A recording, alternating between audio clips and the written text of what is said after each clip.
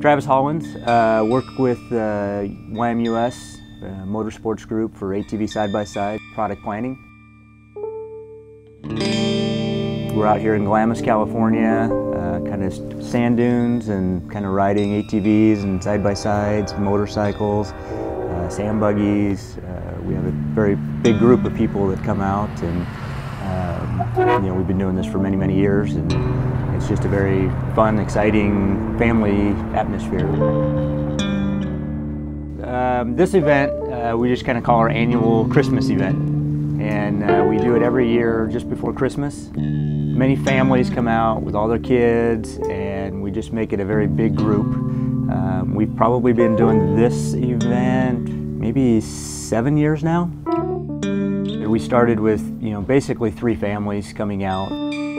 We started this kind of Christmas trip and it's kind of grown over and over and we've gone from maybe seven or eight people to probably 80 people now.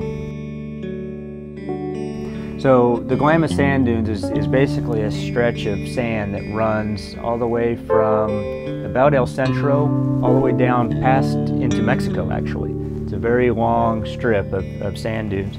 It's, it's a uni very unique area. You know, there are some sand dunes in other parts of the United States, but really Glamis is you know, by far the biggest um, and also the uh, tallest sand dunes uh, pretty much anywhere. You can ride, you know, five, six hours and never see the same place twice.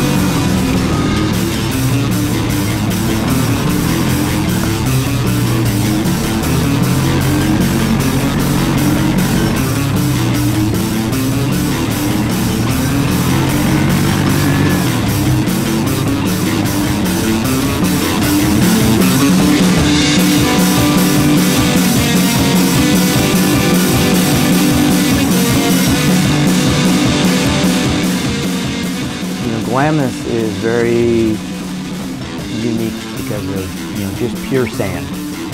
And so when you're riding, you try to get into kind of a flow with the sand. So when you're riding, everything is completely smooth. And so it just gives you almost a feeling floating, you know, on water or air or something. You just, you have a completely smooth, uh, gliding, flying kind of feeling as you're going through the sand. So you can just purely focus on the experience, you know, the ride and where you're going and almost kind of defy gravity in a way.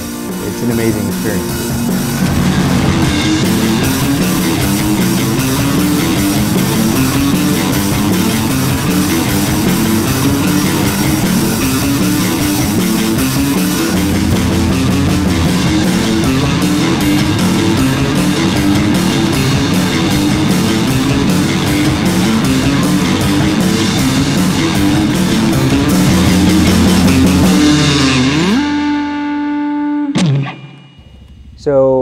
So, my passion for Glamis uh, has kind of changed. Uh, when we were in grade school or high school, the, the challenge was the actual sand dune themselves. As kind of gotten older, uh, maybe I can do anything. Next level for me, you know, probably trying to uh, keep up with my kids. So my expectation, you know, and what is happening is kids are becoming much faster and I'm becoming much older. So, you know, at some point, you know, I think there's going to be a switching, yeah.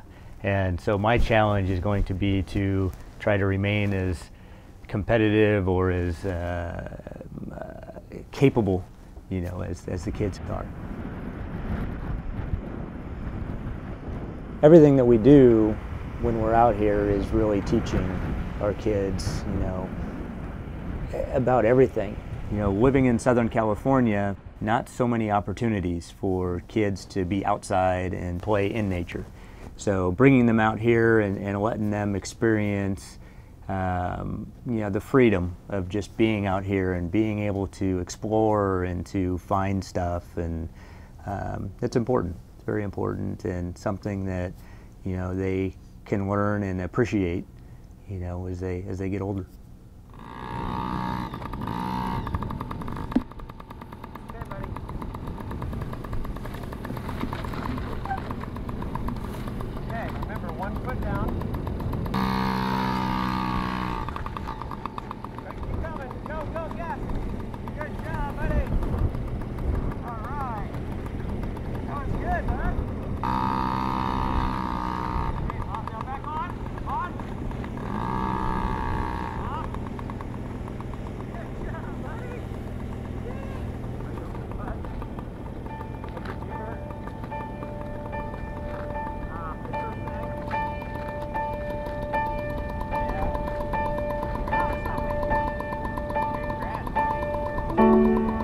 There really is no textbook for Glamis. Um, you know, it's something that you just have to learn, you know, learn from doing. Um, you know, you can try to give direction, uh, but really you just have to experience. You know, it's not really something that you can read a book and know how to do it.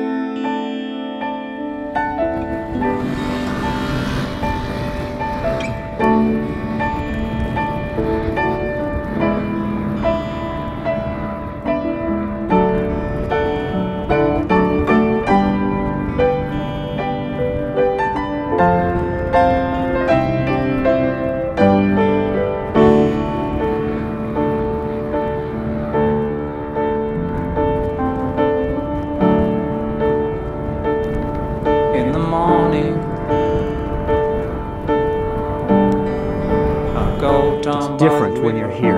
You know, when you're at home, um, you know, the kids play video games or they do their own thing, you know. But when you're here, you know, you're kind of part of a, um, an experience. You know, you're part of the, the camping and campfire and, uh, you know, cooking, you know, all of that kind of happens very close together. So, uh, you know, it's, it's a, it's a, it's more of a bond, I guess, when you have it in an experience or an environment like this.